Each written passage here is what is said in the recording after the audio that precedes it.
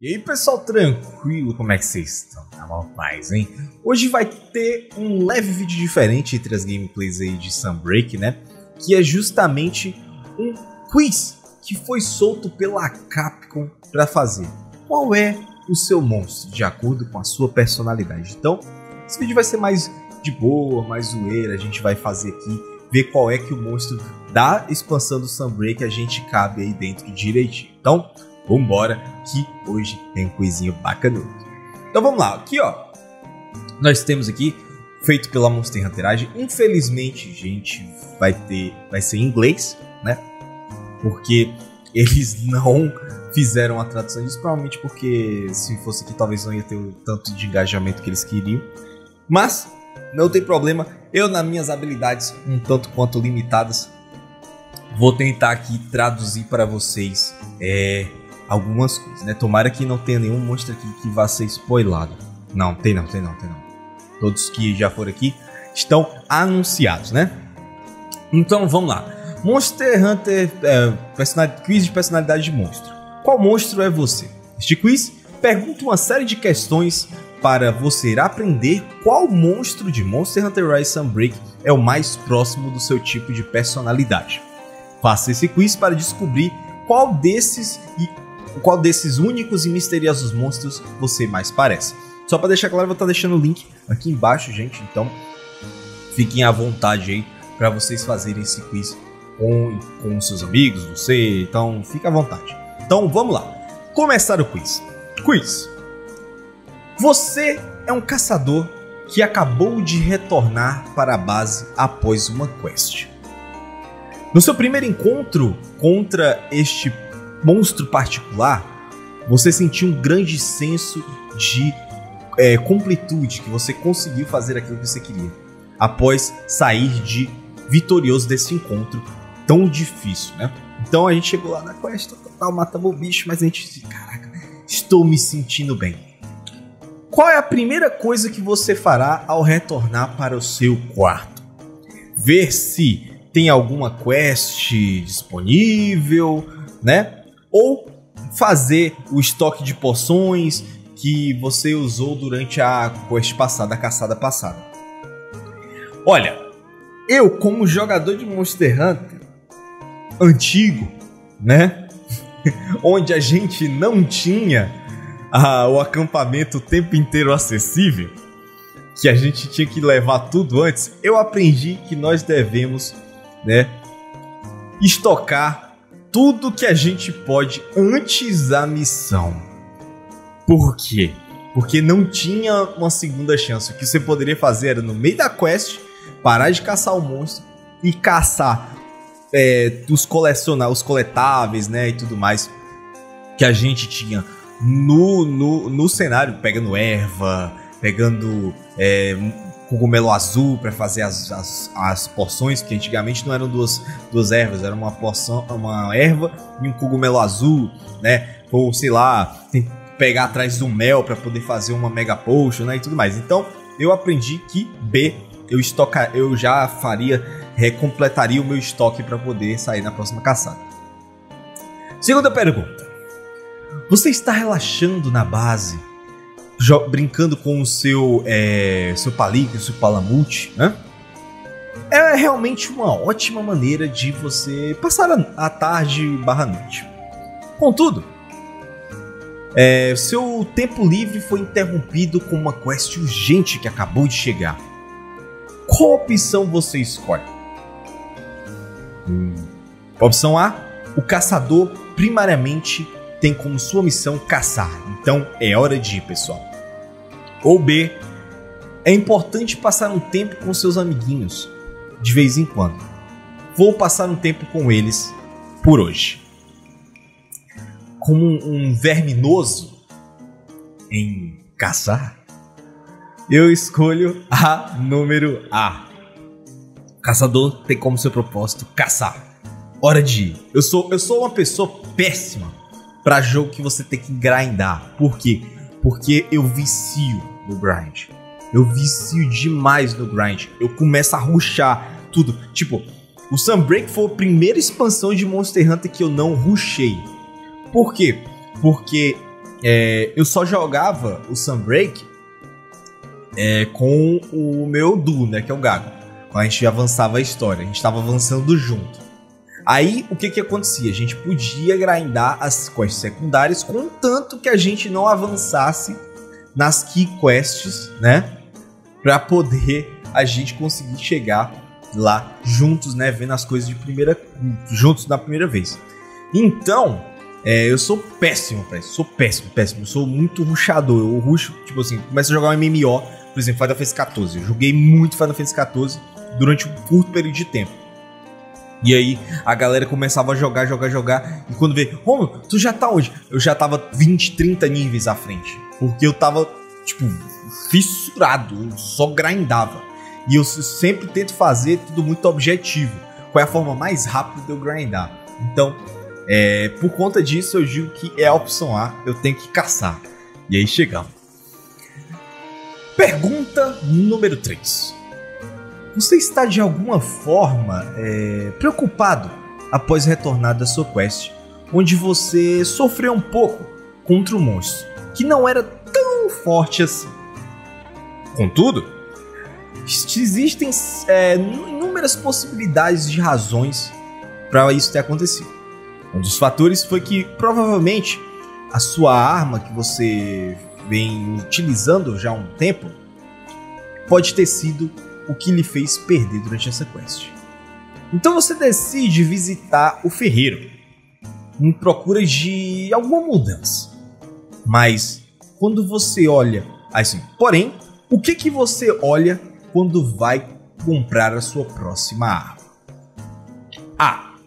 Eu preciso de algo com uma excelente afiação que consegue infligir um dano considerável. Ou B. É importante que a, a, a arma seja capaz de se adaptar a uma variedade de situações. Vou responder para vocês essa daqui baseado no que vem acontecendo comigo com o passar do tempo. Quando eu comecei a jogar Monster Hunter, eu via muito o raw damage. Raw damage era tudo que eu queria. Raw damage, raw damage, eu quero dano alto, dano alto, dano alto.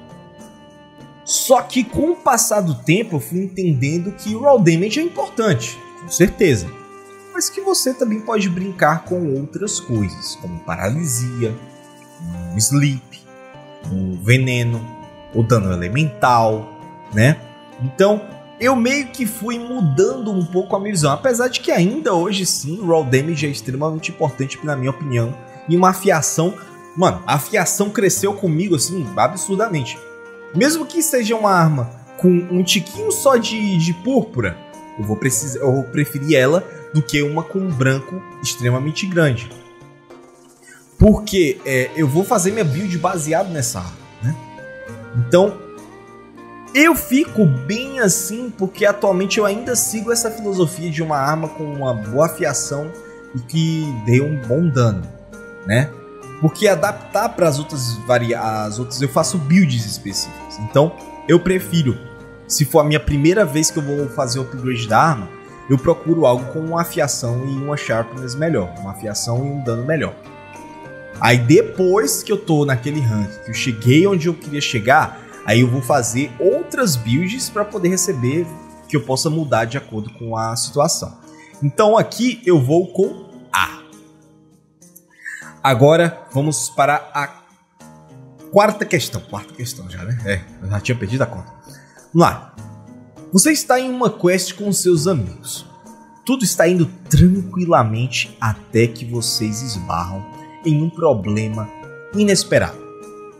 Você vê que os seus companheiros é, caçadores e os seus amigatos, né, o amigato Pal o Palamute, estão meio que é, meio que assustados. Todo mundo tá nervoso, né? Então o que, que você faria a seguir? Você pararia um pouco, né? Esperaria o, o problema amenizar ou você daria ordens para os seus companheiros para conseguir superar este problema? Olha, essa aqui é uma boa pergunta, velho Porque eu, particularmente, tenho uma personalidade muito de. Deixa ter que passar para ver como é que fica. Mas com, por conta do, do, do, da questão de trabalho, essas coisas, você meio que começa a pensar mais estrategicamente para poder tentar passar daquilo mais rápido possível, porque às vezes você não tem tempo. Né? Você não tem tempo. O que eu tenho percebido é que eu tô começando a passar comandos, né? Para poder superar aquele problema, né? É uma coisa que vem me, me, me acontecendo bastante. Tipo, tô eu e o Gago, a gente jogando isso aqui, eu, eu já conheço um pouco do moveset do monstro de outros Monster Hunters. Que provavelmente vocês vão ver quando acontecer com o Gore Magala, com o Shagar Magala, né? E tudo mais. É, eu já sei mais ou menos qual é o kit e o moveset desse monstro. Então eu já falo assim, Gago, é o seguinte, quando ele fizer isso, vem pela, pela lateral. Ó, quando, a, quando vem um ataque que eu conheço, eu digo, ó, Gago, cuidado, vai para tal canto. O Gago, cuidado, só para ele poder ficar de olho. Então eu tô percebendo que eu tô ficando muito com isso. Então eu vou com a letra B, né? Que eu vou dando comandos para o pessoal conseguir, a gente todo mundo junto, conseguir é, passar desse obstáculo. E o meu monstro é Shogun Senatauro. Nossa, o caranguejo. Sua personalidade tipo é o Shogun Senatauro. Ele aparece ser de uma boa natureza pela superfície. Mas embaixo está uma personalidade extremamente afiada. Você pode ficar até muito agressivo para defender você mesmo. Por isso que às vezes pode estar tá atraindo muita atenção ao, ao seu redor, né? Tipo, as pessoas vão prestar muita atenção. É, também, do mesmo jeito que o Shogun Senatauro ele está constantemente procurando uma nova casa, você é. A casa, no caso, é o casco, né? Quando a gente quebra ele. Acho que já saiu o vídeo do Senatauro, então vocês viram que quando a gente quebra ele, ele meio que fica meio assim. Depois ele aparece com uma. Uma casca, não. Uma. Uma. Uma proteção nova, né? um crânio, uma, uma concha, sempre tem alguma coisa nova. Então, eu sou uma pessoa extremamente fashion. Você às vezes é, você é, mostra é, uma personalidade às vezes diferente quando você sai um pouco da sua da sua da sua da sua proteção, né, da sua concha.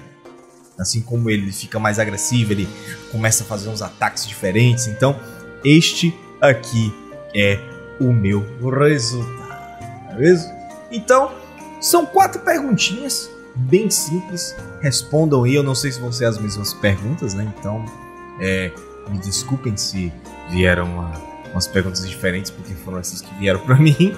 Mas foi bem divertido pensar assim no que acontece, o que que rola na, na minha cabeça, como eu pareço com os monstros Monster Hunter, é um bagulho. Acho que eu já tinha até feito anteriormente esse vídeo. Agora eu não sei se foi aqui ou se foi no setor 7 que eu fiz o monstro de, de do Rise ou foi do, do Iceborne. E eu fiz o Palico e o. Ah, foi o Palico e o Amigato. O, o Palico, o Palico e o Palamute, né?